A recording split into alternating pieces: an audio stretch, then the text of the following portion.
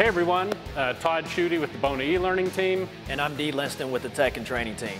Um, welcome to this month's webinar. Uh, today we're going to go over Bona Power Scrubber and in particular using uh, the Deep Clean solution for you know part of your deep clean service that hopefully you're offering to customers. Uh, but we'll also see some other things that guys are using the Power Scrubber for out in the field. Uh, but Dee, let's talk about the schools first and you know, when you guys go over the power scrubber and or deep clean service, what's kind of the reaction from, from guys? Yeah, you know, some guys, um, they actually come to the school because they've heard about the power scrubber, so they really want to learn and make sure that we're going to go over that. Um, and then you have some guys that are there just, you know, they want to learn how to sand and finish, but when they hear about the power scrubber, um, you know, they hear about the benefits. It's kind of like an aha moment, you know, when we go through the whole process. So, you know, most of these guys that generally clean floors that may come to a school, you know, they realize, man, there's a machine that's actually going to extract the dirt from the floor.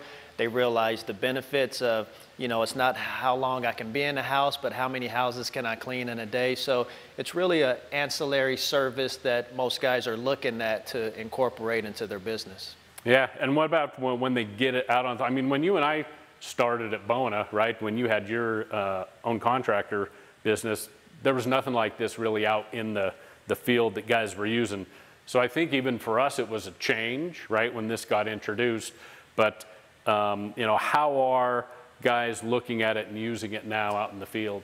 Yeah, so, you know, back when I first started, it was the white polishing pad and a buffer, and you spray some cleaner down, and then you have somebody mopping up right behind you. So this has definitely been a game changer in regards to the ease of use.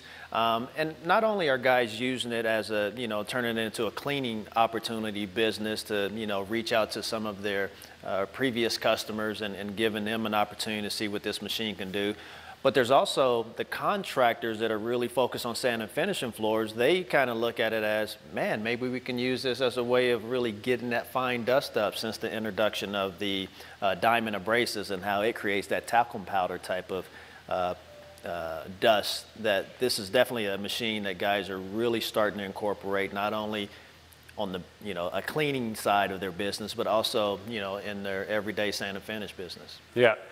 And one of the, the biggest opportunities for contractors, right, is the opportunity to get in front of your customer again. Because if, if you just stick to regular sand and finish, even recoats, right, regular residential customers might get a recoat every five years, seven years, maybe sand and finish every 10. That's not enough to keep you in, in front of them, let them remember your name, let them remember how great of a job you did. Um, so if you can work, you know, that, that deep clean service, and whether it's, you know, every 12 months, every 18 months, whatever that might be, it just continually gets you in front of them. And a lot of people don't think that they need their hardwood floors deep clean. But as we were talking about earlier, right, well, when you clean your uh, carpet at home, you vacuum it. It does a good job of getting it mostly clean, right? It, it looks clean except for stains and stuff the kids may have, may have put into it. Uh, but once in a while you need the carpets deep cleaned and same thing with the wood floors. You know, just using the Bona mop and cleaner does a really good job of generally keeping that floor nice and clean.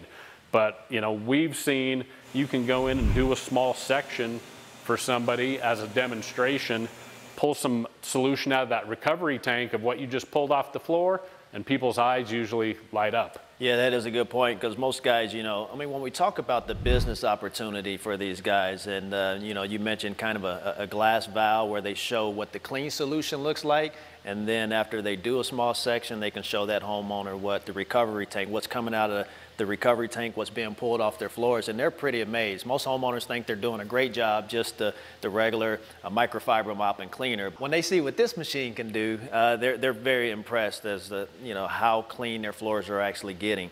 Um, some of the contractors are also looking at it as you know, maybe we can go in and, and offer this to homeowners around the holidays, you know, um, instead of having their floors recoated, which may need to happen. Sometimes a guy will go in and show them that, you know, we'll deep clean your floors, you know, before holiday parties, uh, before family gatherings and, uh, you know, things of that nature. Then, you know, they start to think about, man, this could be, and it's easy to use. I mean, the ease of use, which we'll go over a little bit later, I mean, you can, you know, get a guy right out of high school and just show him there's not many things he can do to really mess this up. And not only wood, you can also use it for any kind of hard surfaces. So, you know, when guys talk about, hey, there's tile in the house, and you know, you have some vinyl in the house, or some LVT, LVP. Um, you know, knowing that you can use this machine for that really helps keep other type of contractors out of the house that will eventually want to come in and say, hey, we can be, you know, the cleaning guy for all of your surfaces, not only your carpet, stone, tile, laminate. Uh, once they hear about this, then, you know, they're on board too, and they try to become the cleaning guy for that customer. So.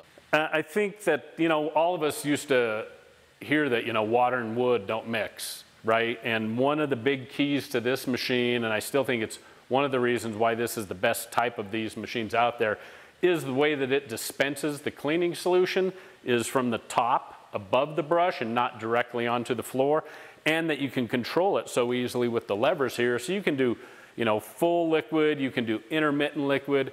If you think the floor is already wet enough, you can do no liquid and still run the brushes and the vacuum.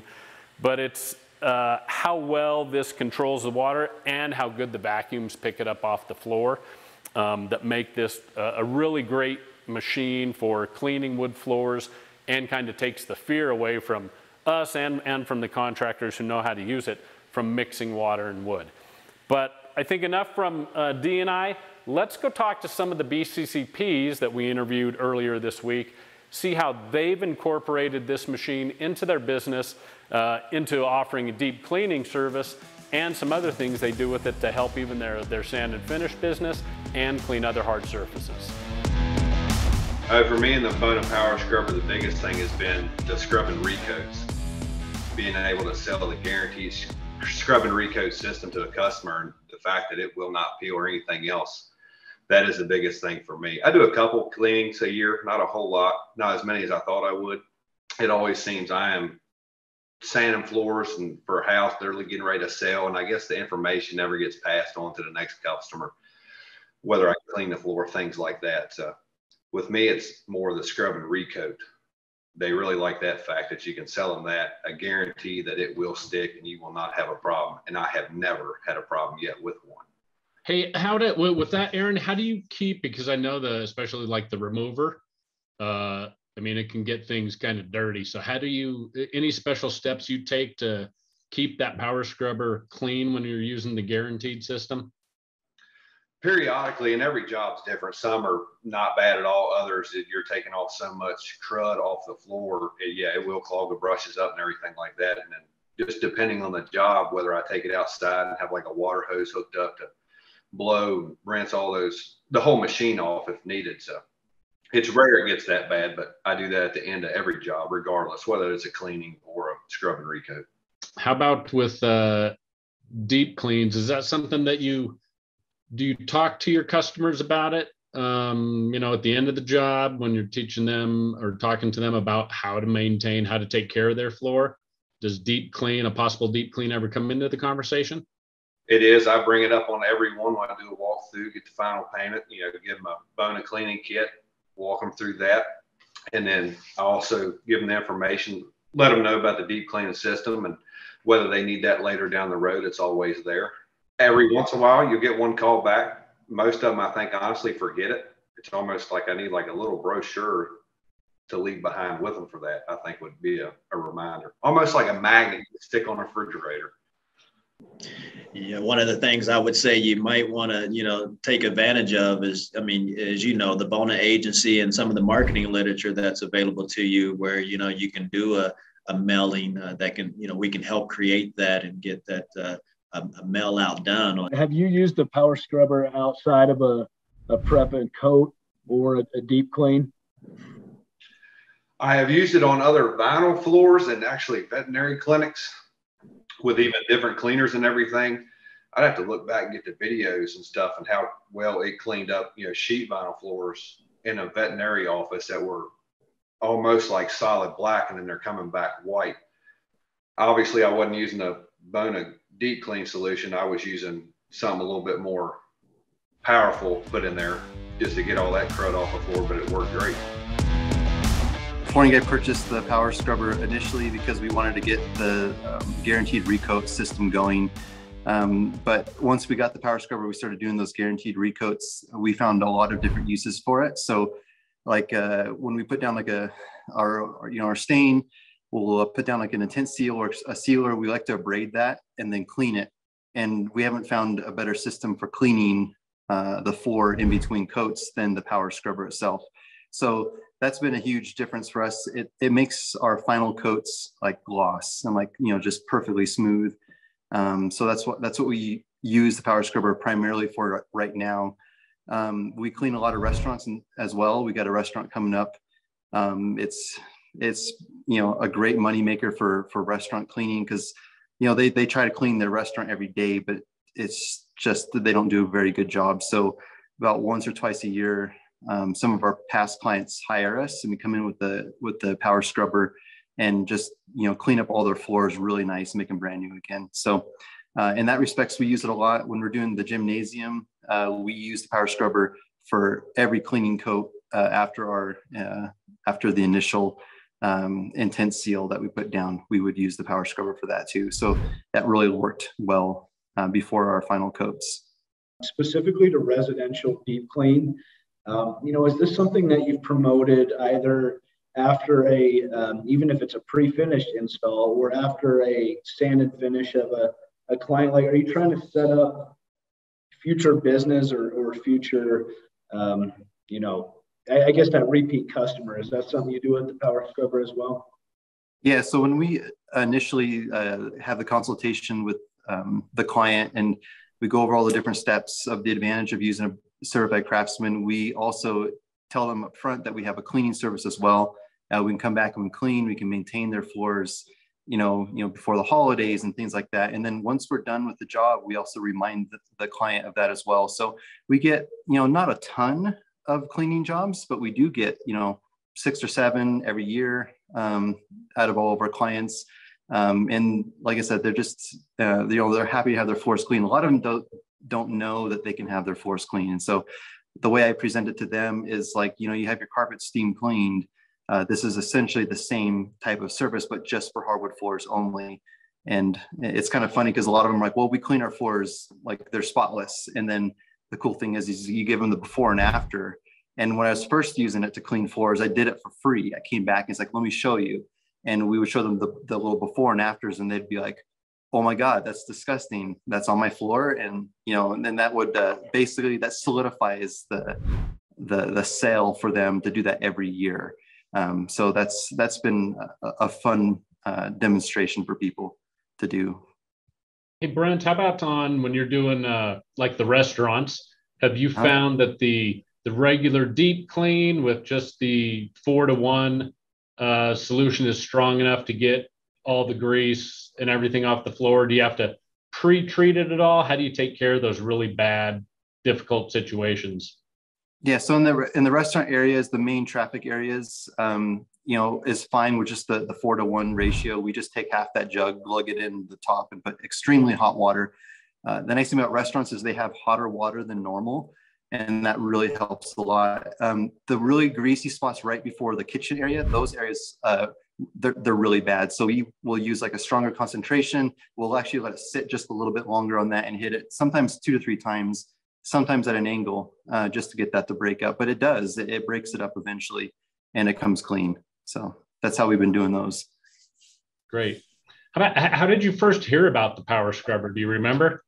Yeah, I remember. I was at a, a um, at a what do you uh, one of your four day schools, and uh, I think you actually gave the abrasive talk at that school. Um, but I remember because I got that test question wrong because I didn't know exactly what the power scrubber was. And they said, you know, what's the best way to tack or to prepare your floor for your final coat? And I chose wet tack. And the correct answer was the power scrubber. So ever since then, I was like, well, dang, that's, I got the wrong system set up. So um, it was actually because of that school and because of that test question I failed is why I bought the power scrubber because I was like, well, I better get one of those. And initially, I thought, well, I could use this for laminate flooring because there's a good amount of people that want their laminate floors cleaned or their vinyl floors cleaned. And then once I started using it in you know every step and every process of our sanding and finishing, I realized this is an invaluable tool. And so now it's told my guys, we hate moving it because it's heavy and our handles, it's it falls over on us and hits us in the head. Uh, everyone hates it, but I tell them like, you know, you break that machine, you're dead to me. that's just the truth of the matter. What about, you know, instead of allowing other companies to get in there that, that clean all types of floors, um, you mentioned the vinyl and other type of surfaces. What about, you know, anyone that has tile, maybe getting in there and, and showing them how well that machine can do even on their tile floors? Yeah, we we actually clean uh, quite a few tile floors with that machine, especially like slate and uh, uneven surfaced floors. We'll do that, and I didn't even know it was good for that until it was an accident. I accidentally ran over into somebody's tile and it made like a perfect swath that was clean. And then I was like, well, crap, now I got to do the whole floor.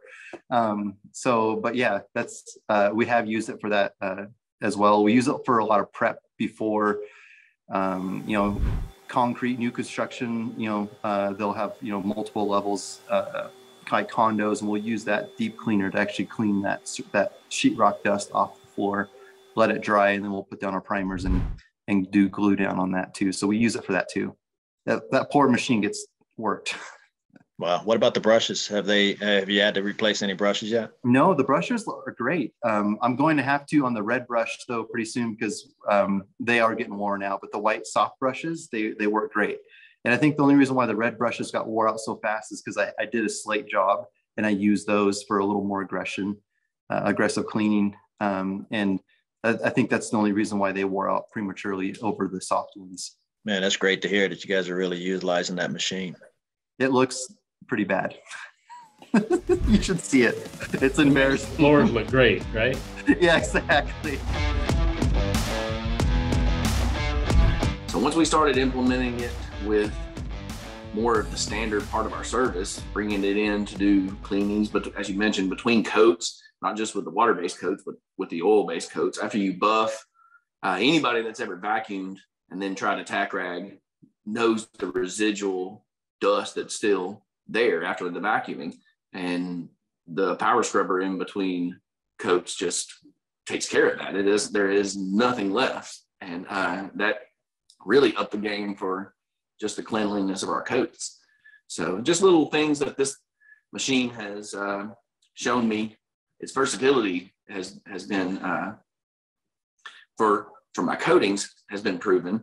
But then in the residential world, I had heard of a, a man doing takes the existing floor that is being sold in the home that is worn and haggard and uses I was railing on y'all's polish and how just a worthless product that it was and how make, how it just makes my job harder in so many ways. And Jeremiah says this man's approach with the polish takes the power scrubber and clean uh, the house what is being presented for market. Use the polish to uh, show the potential of the floor. And then when the home is sold, they can either elect to sand and finish to make it more permanent or bring the man back with the power scrubber to take the polish remover and remove the polish and put a proper coat on. And uh, so having that that kind of a thought process, uh, just it was really inventive and uh, and with very little uh, machinery needed. The, the power scrubber basically took care of most of the business. Well, what uh, what's your wife been doing with it? What's her what's her interest in it?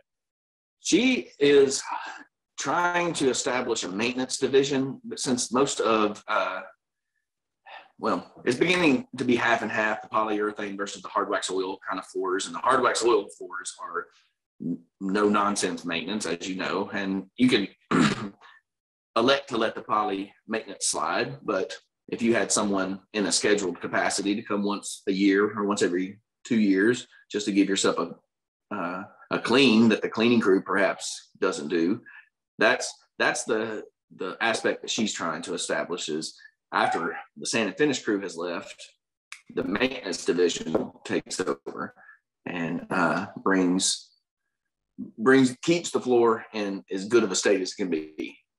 And uh, does that include? I mean, just like regular deep cleans? Do you guys have you guys done a number of those and residential or commercial, or she's just kind of trying to to look to start this maintenance program up for you guys? We have done. She has done for me uh, commercial aspects in restaurants. Whenever uh, you know they start their mop water in the back and drag that grease to the front, and it just makes you know, a classy place looked nasty. And uh, the power scrubber was able to relieve that. And it kind of showed the, you know, the failings of the floor finish, and then I come along behind and remedy that part.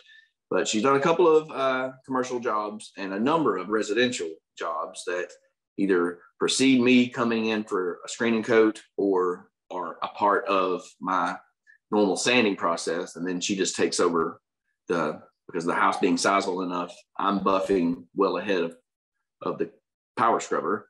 And uh, then my assistant is coming along preparing for the coat.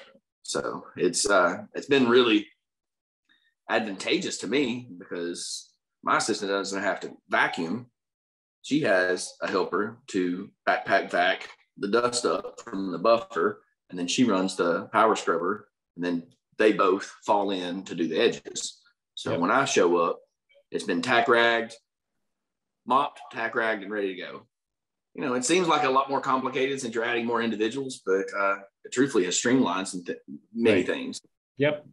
And the quality of the product is without compare. You know, I, I've had many old school contractors that I mean, stand open mouthed and just be like, I've never had a floor that looked like this. And most of the time, that's after just the first coat, you know. And after the second coat, they're just laying laying down and crying about it. But uh, this is part of why, you know, the products that I use generally for sanding, almost exclusively, I'll say, are your six inch papers from my power drive, and then for the coatings, we have the diamond, and it just the whole the the whole of the system brings all of these uh, steps to the to the best end that it can be. You mentioned your wife starting a maintenance program. Have you guys, um, you know, thought about taking advantage of, uh, you know, sometimes we help with that marketing and sending that out to some of your previous customers. You know, a, a certain just a little pamphlet of some sort to where they can be sent out to your customers to, to, make sure they know about that service. I'd be very interested in any help that you can give me. You know, my uh, technology and marketing skills are, are the last thing on my mind. I'm, I'm doing the work and, and it's really hard for me to slow down in time to, to give the things like this, which are vitally important in this era, especially, but, uh, you know, it's also a learning curve trying to come out of the old way of thinking and into this new style, trying to get myself adjusted to uh, to doing it, and also adjusting some of my clients.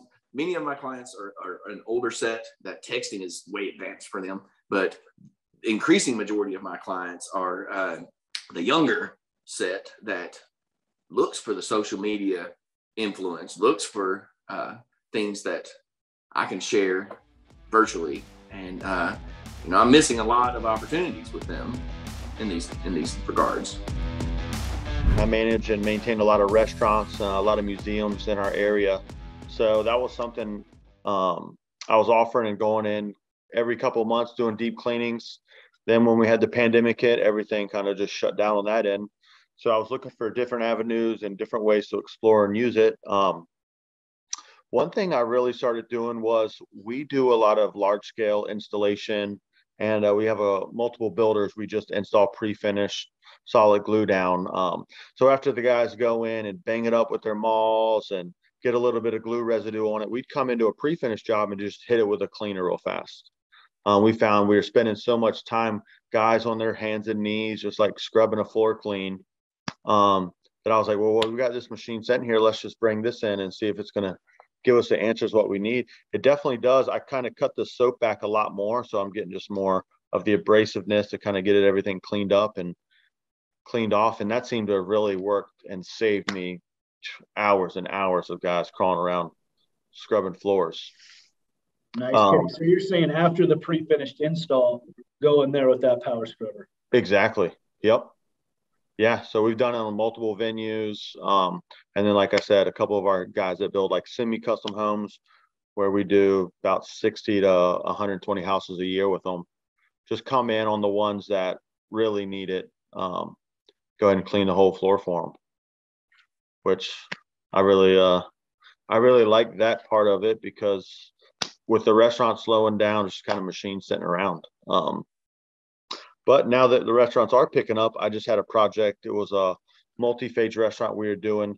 They were doing the second phase of the build out, and they had a back area which was concrete. We were going in and leveling and putting in some uh, VCT, and I went in and degreased it and power washed it, and then like right before I uh, put my primer down for my leveler, I went in with the power scrubber just to like hit the concrete really, really good one more time. Um, I was a little hesitant, worrying about the brushes getting clogged up or that degreaser doing something to it, but I made sure everything was clean. And I was really happy with how much dirt there was still on the floor and left to get out that uh, assured me that bond for the leveler before I glued everything over top of it. Um, so that's another way I've used it, trying to push the boundaries of what that machine can do. Um, actually was quite surprised. It was probably the nastiest thing I've done with it. um, besides going into venues who are hesitant about taking care of their floor, and you run the first pass across it, and it looks night and day difference in what that machine will clean up off of it. Um, and then, of course, I I incorporate it and sell it on every single screen and recoat I do. Um, before I get to the job, that's the very first thing that we come in and do. We've actually got a project now we're doing um, where it's a custom house where they've painted the whole floor. There's probably 10 different designs painted throughout this, um, the homeowner's house, um, trying to get different borders, different patterns, different spots that are faux finished and spots that look like tile. We're about to go in a partnership with them to clean it so the artist can come back in and redo it. And then we're going to come back in after the fact and recoat it over top of it. So we definitely try to think outside of the box to get that machine out there because it does work so well and it's such an awesome machine. Um, so that's kind of where we are with it. How's that, uh, um, how's that process work with the, uh, so you're just, you're deep cleaning the floors and then just doing a screen and recoat? Yeah, exactly. When I do the recoat system, of course I come in and, and test it to make sure it's good and they don't have any toxins on the floor. Um, and then I just come in and completely clean the floor. I usually do that one day and let it completely dry, although it's still going to get up everything. I like to let it set overnight and then come in the next day and hit my light abrasion, which I typically just hit with a maroon pad after that. Um, once the floor gets nice and clean, no need to gold tape it. That stuff does a great job of cleaning it up. Kind of do it till it comes up and uh, come in, quick abrasion and and uh, coat right over. Any thought on a service contract agreement, like when you're going in to do new jobs, offering a, a deep clean maybe once or twice twice a year that's already built into the, the original contract? Well, typically when I go in, when I sell my initial contract, if they agree to do it a long-term service, then I give them a discounted rate from the beginning. Um, once they sign something with me that's long-term, then upfront, I, I really take care of them because I know I'm going to be there for years to come. Um, so I say I probably have what is it? Maybe 10 restaurants that I do on the regular where I come in and just clean for them. Um, it was before it was just screening and recoating um, every so often, but since that now that gets it clean enough for them, they don't let it get to a certain they don't let it get to a point where it needs to be recoated because as well as that machine keeps it clean um, and as quick as it is, you can go in in the evening, go in at night, knock it out. It's ready to roll the next morning. So the downtime and lag time is a lot is a lot better for them. Did you mention in, in the restaurants? Are you having to make a, a stronger uh, mix of the solution, especially back near the kitchen areas versus in some of the common areas? Are you having to do anything different? Um, tip. Uh, what I do different is I come in and do like a pre-soak on it. I'll mix my own up in a spray bottle and uh, mist it over everything. So it's sitting there for a while. What go in, get everything back down, clean down really good, um, and then mix up a solution. Um, it all depends on how bad it is. Depends on the ratio. Um, but I've done it where it's been so bad where we'll come in almost maybe like three to one, um, three parts concentrate to one part water to get some of the stuff up, especially right near the kitchen where you get all that grease and grime. Um, and everything to lift that those chemicals up. Um, have even used it on a couple tile jobs where it had I just kind of throw it in there. They have like little tile walk through, pass throughs from the kitchen and where they expedite to where they, they hit the floor. I've run it over that and it seems to do a great job as well. Um, I don't really typically sell that to people or tell them, but, uh, if it's something I see, I'll run over it for them. Using different brushes for the tile? Are you using the red brushes or just white brushes for everything? Uh, I typically just use the white brushes for everything. I'll break the red out if, um, if I see it's not really give me what I need, but that's kind of rare. I'll usually let something set up long enough where it's going to break it down. Um, take multiple passes. So the red brushes probably have been busted out too many times. I thought about trying to do it uh on a couple of Ipe decks, seeing what it would do to that. Um, didn't know how what like the Ipe cleaner would do sitting in that machine, getting pumped through it. Um, I don't see where it would do any harm to it.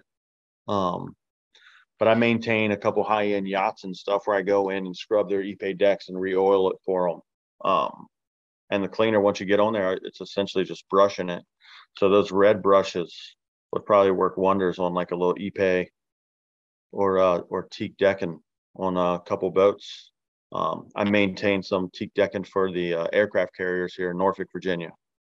Um, every so when they're in port, every so often I'll go in and and re just scrub them and redo it. But throwing the red brushes on the power drive um, would probably give me some really good results on it.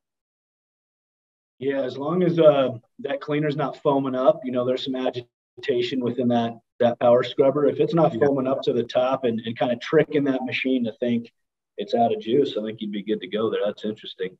Yeah. Or even I just sprayed it on and just used it without running uh, the chemical through the machine, just maybe putting the water in there to help agitate it and break it up. Do, sure do you know if it's is the cleaner water based? Um, I don't believe it is water based. I'm not sure okay. the property of the cleaner actually. Because they use a they use the power scrubber a ton down in Central and South America. Bona uh-huh. guys do because they have a ton of again Ipe uh, decking and stuff down there, and that's a big part of their business is refurbishing those. Interesting. Good. That might be an avenue I start looking into. Yeah. But I, I, would think the cleaner would be fine as, as long as it's not a really harsh solvent. Yeah. I mean, I wouldn't want to run mineral spirits or something like that through there or anything that's going to possibly leave a residue inside the, the machine. Exactly. Um, but yeah, that might not be a bad idea if you just spray it on and then use water in the power scrubber to remove it, you know, and the dirt or whatever it pulled up. I, I would think that would be fine. Do y'all recommend running anything through it to clean the inside any? Or is it if you're running just y'all's cleaner through it, it should be fine? Yeah, if you're running just the cleaner through it, it should be fine. The only thing that tends to get tends to kind of gunk stuff up is when you're doing the guaranteed recoat system and pulling the remover in there. Mm-hmm. And then we'll uh, you know use a sprayer, a pressure washer, whatever, especially on that recovery tank, just yep. to make sure that thing gets cleaned out real well. And you got to check your lines then you know make sure that that stuff doesn't dry inside one of your lines. Uh, maybe blow those out after you're done with one of those jobs but yeah otherwise it shouldn't be a, an issue. Yeah cool. definitely is. Yeah we we use y'all the sealer and glue. I mean a lot. We appreciate it. Yes sir. No it's the best so what we like to stick with. That's why we use you guys. I'm a part of part of the team so big thanks to those BCCP members for uh, coming on, giving us some of their time and sharing their experiences again about power scrubber, deep cleaning, how they've worked that into their businesses. Um, for you guys unfamiliar with the machines, we just want to go over some of the features and benefits now, and then we'll give you a few usage uh, tips and tricks. Uh, so first feature is just the transport wheels, right? Nice big transport wheels, lets you roll it across the driveway, sidewalk, up and down stairs, and then they easily come off um, to store them. Just up in the, the main handle here. Keep them out of your way while you're operating the machine. The other thing with that is, again, just your big handle lock. So this little lever right here, You can use it with your foot or your hand. Just kind of locks this lever in place so that when you do tip it back onto the wheels, it kind of keeps this a, a little stiffer just to help with that. You still want to be careful with it. Um, you know, it, it doesn't lock it in place super secure. So just be a little careful. And I wouldn't recommend having any uh, liquid uh, or at least not full uh, of liquid in your uh, recovery or your solution tank because guys tend to tip it back too much, maybe spill a little bit on the floor. Um, and then one other thing on transportation is just your, your dial indicator down here that really controls your brush pressure. But you can see this is the transport position. And what that does is it raises, actually lowers some wheels to raise your brushes and your squeegees up off the floor so that even if you want to roll it around, you've already taken your big transport wheels off, you wanted to roll around on the, the job site, you can do that and it'll put those, put those wheels down to make it easier to roll. If I put it on my brush pressure, so you have different levels of brush pressure that you can put it to. Usually for wood floors, we're all the way up uh, because the bristles on uh, the brushes tend to be a little softer, gets nice full pressure on there, but you know, you can adjust the pressure to some different levels in there as well.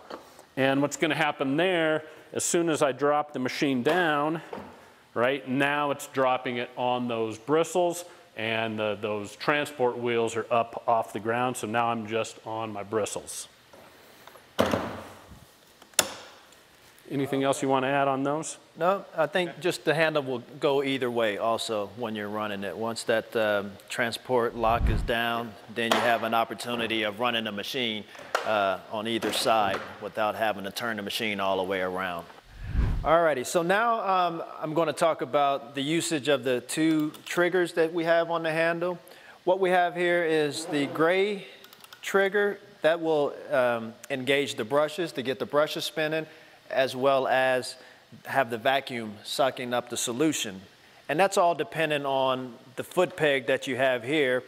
When the foot peg is level with the ground, then squeegees are up. So when you pull the gray handle, all that's going to do is allow the brush to, to spin.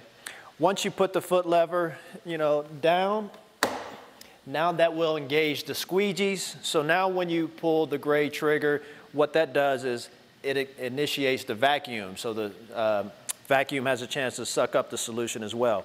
The black trigger here, what that is, is your solution button. So what that does is that's going to allow the solution to spray on the brushes as Todd uh, talked about earlier. Instead of having solution sprayed onto the floor, this will kind of engage solution being sprayed onto the brush, brushes so that you have wet brushes scrubbing the floor. And you can pull that as needed. Okay, so let's talk about the tank now and the different brushes. So one, your solution and recovery tank, uh, it locks into place. Uh, if you get it in the right spot, it'll click up and lock, helps you carry it a little more. Um, and then you can put it down on the far side. These latches come apart. Now you've got your separate recovery tank. This is just your solution tank.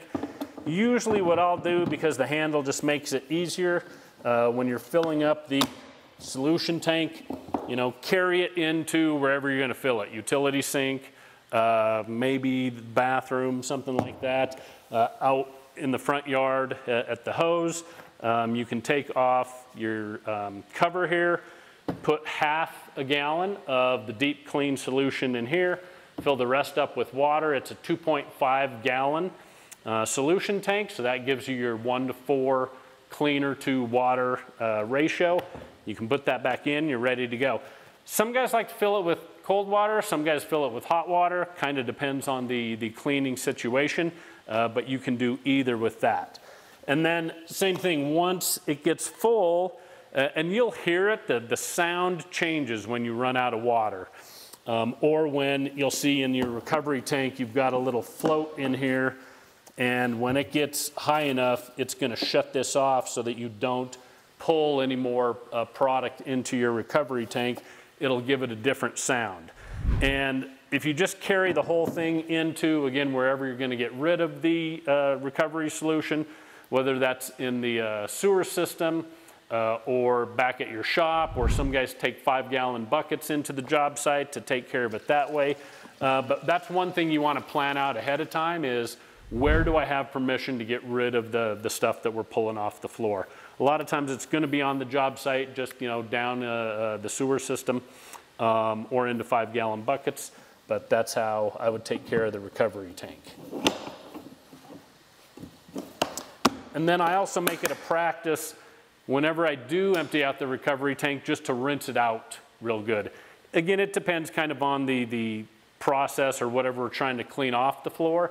But you'll typically see, again, if we're cleaning diamond dust like we will be off of here, or especially if I'm doing the uh, guaranteed recoat system, um, I want to rinse that recovery tank out and not let the, the gunk and stuff build up in there uh, with every tank full that I get. So that's your uh, solution tank and recovery tank. Alrighty, so I'll talk about the uh, different brushes. So now that the tank is off, you have an opportunity to set the machine back. And while the machine is back, just a real simple um, switch out if you want to switch to the red brushes. So your white brushes, actually just push down a little, it's kind of spring loaded, and then you can pull the brush out, and then you're ready to insert your red brushes when needed, and we'll talk about the different surfaces that you're going to uh, use for the, the different brushes for. But while we have the brushes off, here we have the strip which we discussed earlier where it dispenses the solution uh, directly onto the brushes. So, you know, no matter what brush you have on, the solution is always going to come out of this strip which wets the brushes, which then spins on the floor. So just wanted to show you the easy loading of the brushes, spring loaded. You can put either brush in depending on what uh, floor you're working on. The difference between the brushes, your white brushes will always be used just for general cleaning, um, urethane surfaces, pre-finished surfaces. Um, it's a softer brush, whereas the red brush, you know, you could use on some of the harder surfaces like stone, tile, things of that nature. But it, you also use that as part of the Guarantee Recoat system, which I'm sure we'll have a video out if we don't already on the Guarantee Recoat system. A lot stiffer brush, so therefore you really wouldn't want to use the red brushes on a urethane finished floors. Otherwise, if you're standing in one spot too long, you could start to scratch that urethane, but definitely uh, can be used on some of the harder surfaces as well as with the Guarantee Recoat system. With the white brushes, they actually have a, it's kind of a V shape.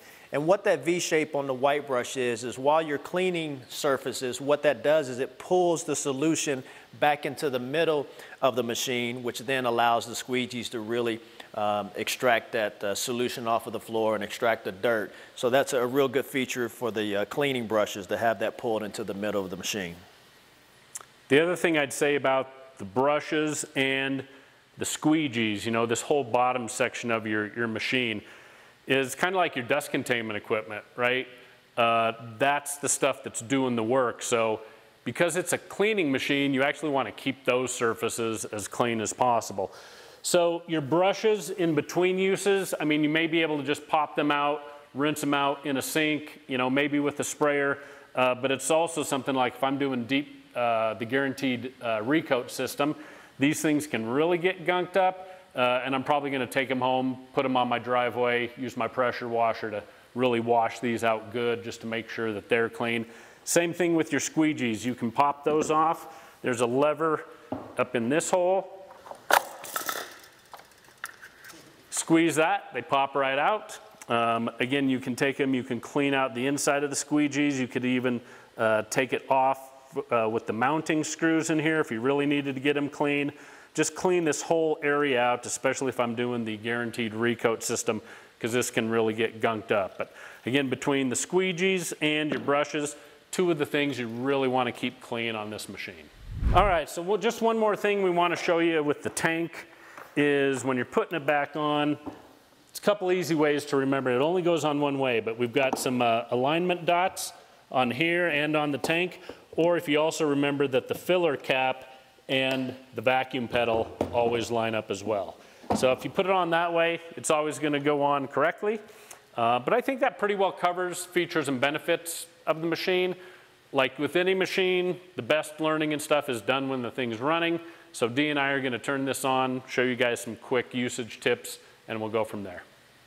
Okay, now we're going to show the uh, operation of the machine, and I'll just point out a few things. Uh, right now we have the foot peg that's up, so now you have just the brushes, which are always going. Brushes will always go, but once the lever down, that'll uh, initiate the vacuum.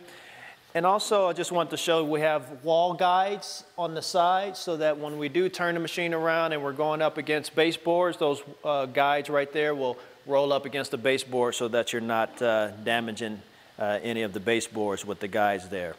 Uh, one other thing, we have a cord holder here, which you can use or not, um, you know, just depending on how you're running the machine, but you, you can take that out and just kind of, you know, hold the cord like you would similar to a big machine.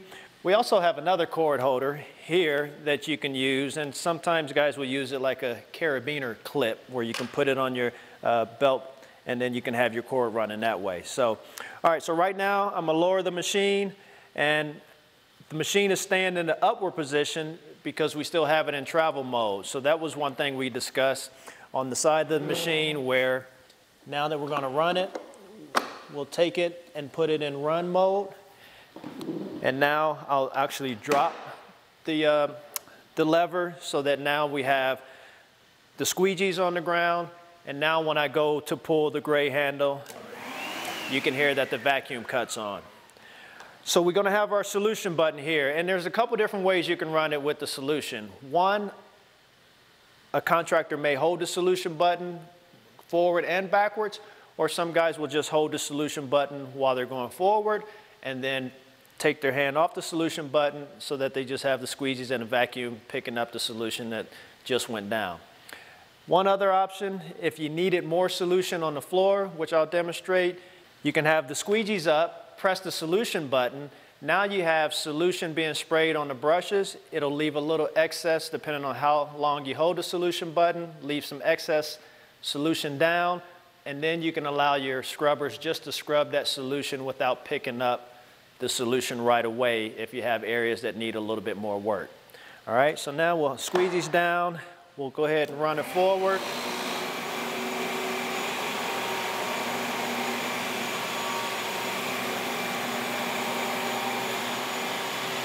Coming back, I'm not putting any solution down, just got the vacuum and the brushes running. And then as I move over, squeeze out a little more solution, and then no solution coming back. One thing you have to be careful of too, if you're squeezing the solution button and when you go to turn, because you're taking the squeegees away from the solution that's uh, on the brushes and being left on the ground, as you turn, you may notice puddles being left there, but you can always go back over it so that you make sure you don't leave too much solution sitting on the floor.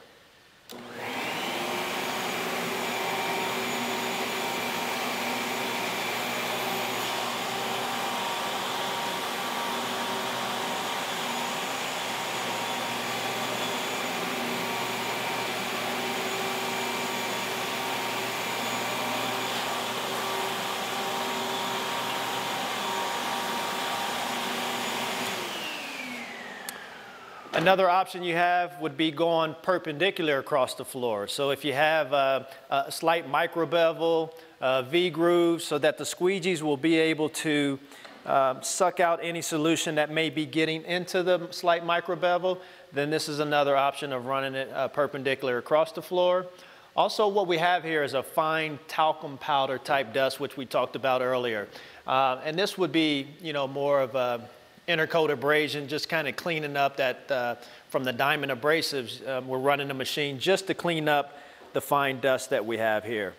One other thing you want to be aware of, once you stop the machine, because the solution is kind of on the, the cavity walls of where the brushes are sitting, if you spray that, uh, I'm sorry, if you take the vacuum off, squeegees are up, and you can run just the brushes to kind of spin them so this will be as you're working your way out. Now you can drop it and now run the squeegees.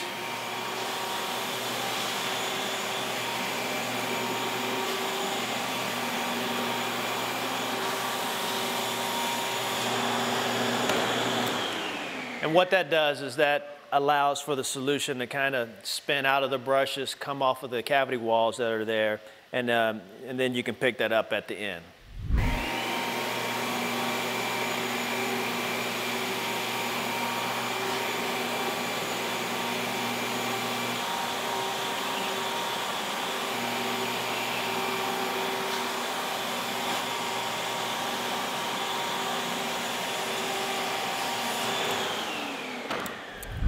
And so now what I'll demonstrate is taking the machine down the wall line, and as you'll see, the rollers that we have here on the side of the machine, you'll see how they fit right up against the baseboard so that they don't damage.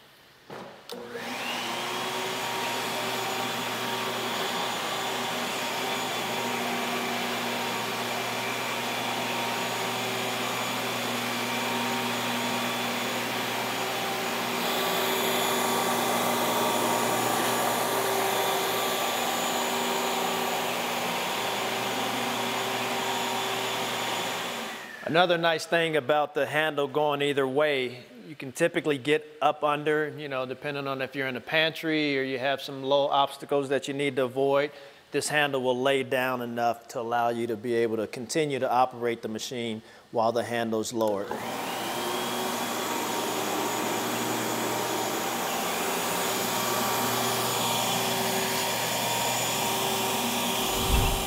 A few things that I'd like to mention is, um, you know, when you're using the power scrubber to tack up the fine dust, like this, uh, you know, diamond abrasive dust, uh, we also use this in, in gymnasiums. We'll create what we call a safe area. So we'll run the power scrubber in an area so that we kind of leave ourselves a trail of not walking back onto the uh, dust that was created from the abrasion.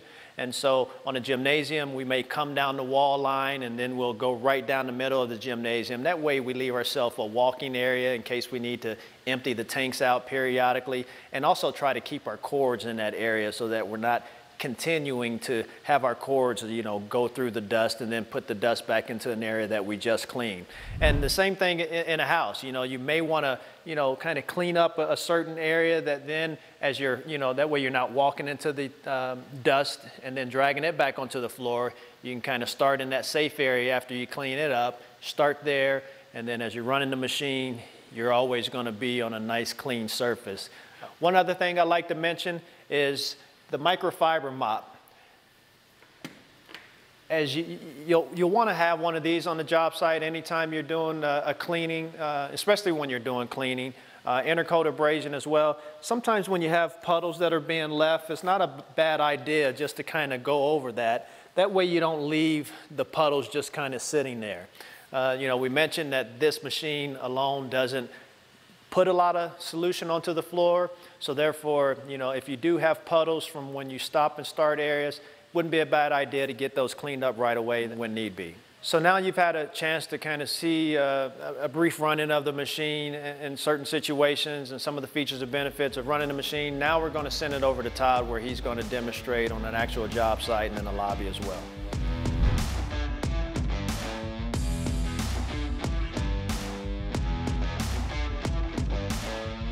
All right, so now that we've actually come out on the job site, we're right in the, the Bona lobby here, um, commercial or residential, before we even start running the power scrubber, first we want to actually get the floor a little cleaner than it already might be, especially dirt, debris, anything that might get caught under the scrubber and actually end up scratching the floor. Um, any sticky spills, any gum, any uh, greasy spills, things like that so one, if it's you know gum or, or something sticky or gooey, uh, a nice plastic scraper uh, really helps. Don't use anything metal. Uh, tend to scratch the floor up too much. Um, if we have you know gum or something sticky, we might even need to put some hot water on a rag, kind of let it lay on there, soften it up a little bit, and then we can clean that off. So a couple things that there might come in handy. Um, for residential or if you're doing a commercial space that uh, lets people bring their dogs to work, uh, dog hair, cat hair, anything like that, always good to also go over the floor first with one of the, uh, uh the dusting pads. Uh, because of their texture, they tend to really pick up dog hair, cat hair and stuff really well. We don't want all that stuff laying on the floor um, for our power scrubber to pick up just because it can tend to clog it up a little bit, cause some maintenance issues there for us. So go over first with the dusting pad. That'll tend to pick all that stuff up. And then working from experience, you know, kind of in assessing the floor, how dirty is it, how greasy is it. As you heard Brent talk about the restaurant, when he goes and does that, one, he uses a little stronger dilution than just the four to one. So he might use, you know, a, a whole gallon and then fill the rest of it up with, with water and really hot water. He said the restaurants tend to have really nice hot, extra hot water that's going to also help take that, that grease and dirt and stuff off that tends to build up in those type of situations. Um, or you could also use, you know, there's some really good water-based citrus degreasers out there. You might actually have to pre-treat the floor a little bit with something like that before, ahead, before you go ahead and put the power scrubber on there because it might tend to uh, take too many, too many passes with just the power scrubber, just the deep clean in some of those type of situations. Uh, but first we're gonna vacuum. We wanna get loose dirt and debris off the floor. Uh, then we'll come back on the rest of the floor with power scrubber. Then we're gonna go ahead and work the uh, edges if any of those need cleaned up.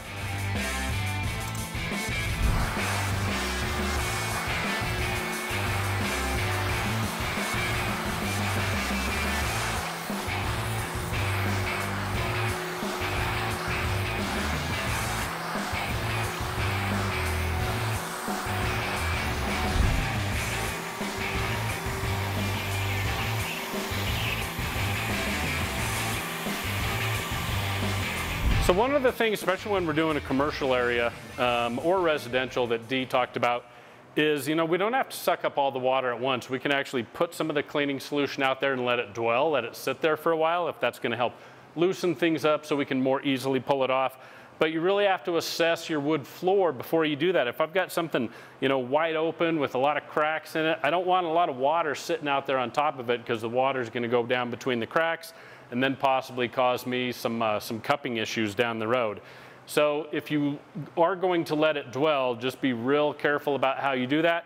We'll put a little bit out here, let it sit there for a minute, come back and suck it up just to give you an example. But be careful when you're thinking about letting uh, the cleaning solution sit out there for too long.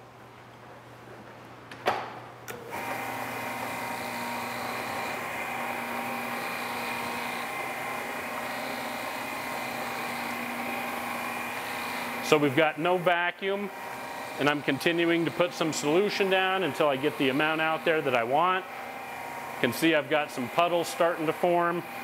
Big one back here. So again, this is what you can do to kind of let stuff sit out there, let it break up that dirt and grease a little better. And then when you think it's been out there long enough, now we can go back not put any more solution down, but uh, just make sure we're sucking it all up.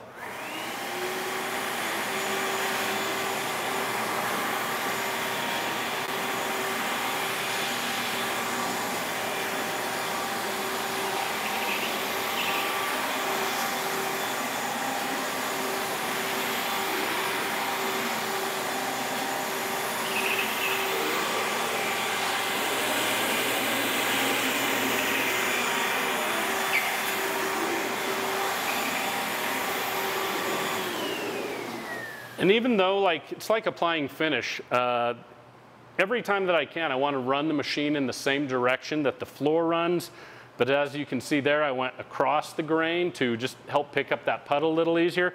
But now I'm going to go across the, or with the grain again to finish that out, just to make sure I'm not leaving any streaks across the uh, boards there.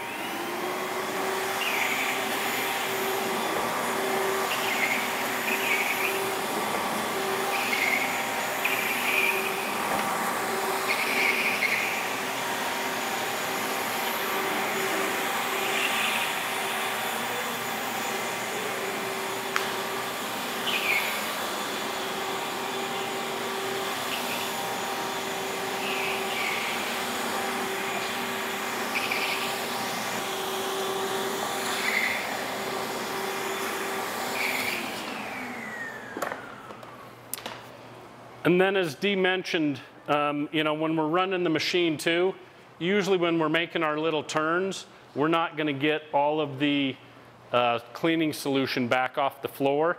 So that's when we wanna come back with just our microfiber, hit any of those remaining puddles. And this is where I would have my second man on the job right? He's gonna be coming behind me as I'm working the uh, auto scrubber or the power scrubber, and he's gonna be cleaning up any, you know, puddles or streaks behind me.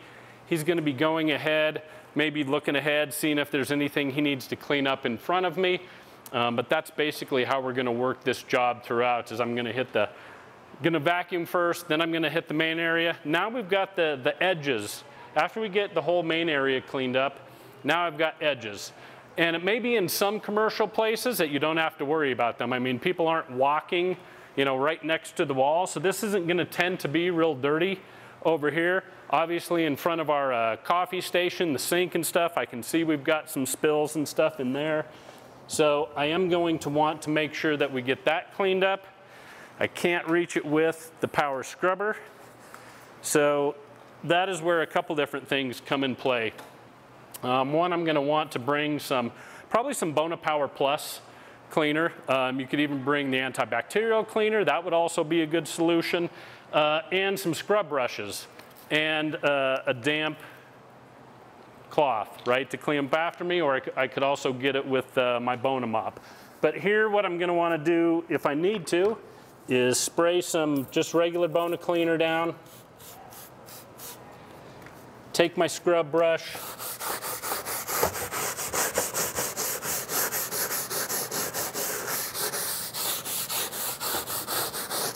clean up any areas there. I might have to use my scraper here.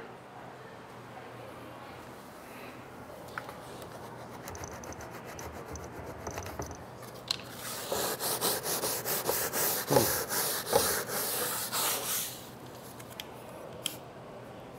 Let that sit for a minute. There's uh, a, a, a, bunch of different brushes too that you can use. Some, I've got this one with bristles, I've got this one with a little scrubby pad on it.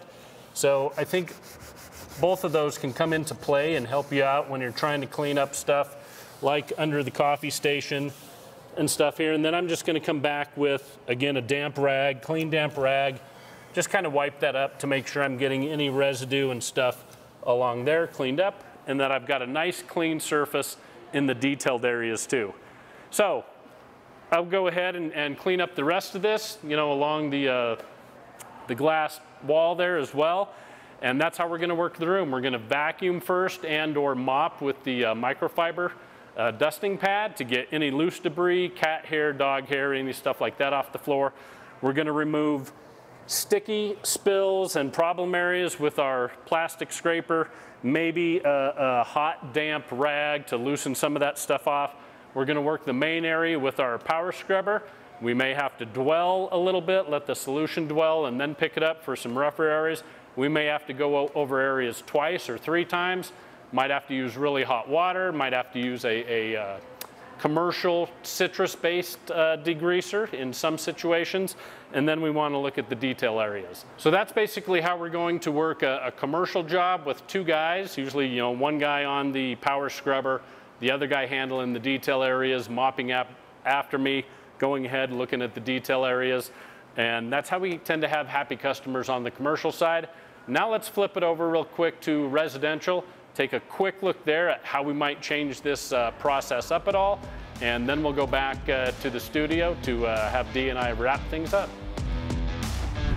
Okay, so now we're here on a residential site.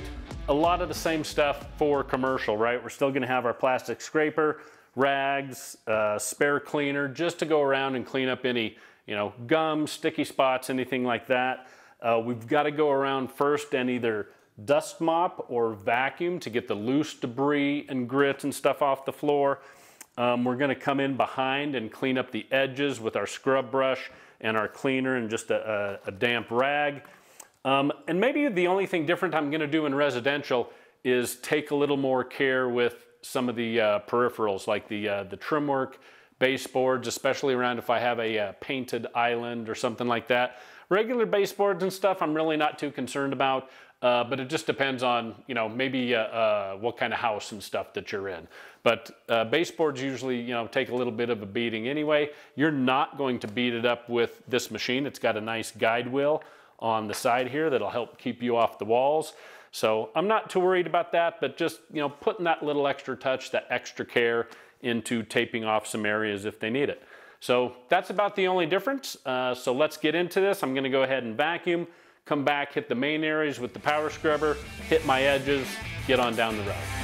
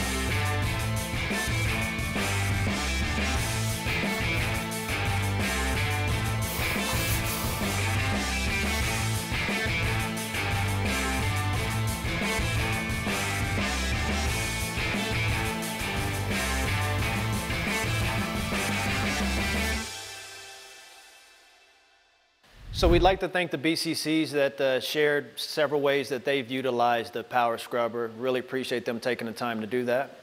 And we hope you guys, uh, again, whether you have the power scrubber already, um, you're thinking about buying one, it's been sitting idle for a while, maybe through our tips and tricks, features and benefits, gave you guys some ideas as well as what the BCCP shared with us on how you can really utilize this machine throughout your business start some other businesses with a deep clean service, maybe even working on some, some outdoor decking. There's a ton of different things you can do this to, to add to what you're offering to your customers. You may also be able to get some other uh, tips, tricks, ideas uh, from some of our other videos on our Pro YouTube channel. And you can always reach out to Dee and his team at our toll-free number, which is 800 872 5515. Let them know what you're thinking uh, and if you have anything else to share. Yeah, we'd love to hear from you. Um, if there's other ways, as Todd mentioned, that you're using this, uh, please share that on our Facebook page, uh, Instagram, LinkedIn. You can also send us an email um, if there's questions that you have or you just want to you know, send it through email at ustech at bona.com.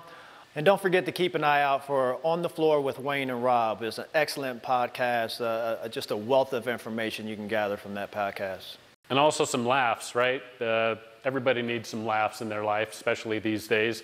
Um, but thank you guys for joining in. We hope the, the webinars we're putting on dives into a little bit more detail um, than a shorter video might. So we hope they're useful for you, but uh, we appreciate your time. Look forward to seeing you guys again next month where we'll have some, uh, some new material for you.